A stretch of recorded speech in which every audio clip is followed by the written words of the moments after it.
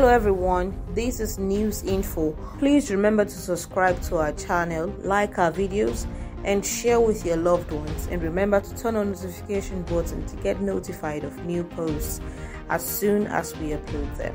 I'm very excited about the possibility of the partnership and the collaboration that we will develop with you and uh, investors from Thailand. It's our big, it's our big issue now in our country. How we develop our own self-sufficiency and food security. We spend a lot of our money importing foodstuffs into Ghana, and it's been going on for too long. I think that now is the time that we are going to have to make these systematic efforts to be self-sufficient and depend on ourselves for the things that we eat.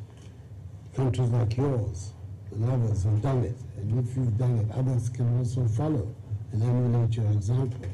And I'm excited by the idea of getting into bed with people who are known to have succeeded in doing what we're now going to try to do. Dr. Japan has already talked about the amounts of monies we spend.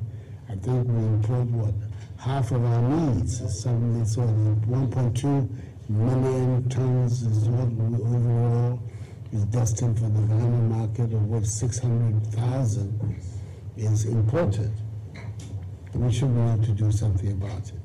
And I'm particularly encouraged that in, the, in so doing, we will also be hopefully moving towards a system of agricultural inputs that reduces our dependence on chemicals.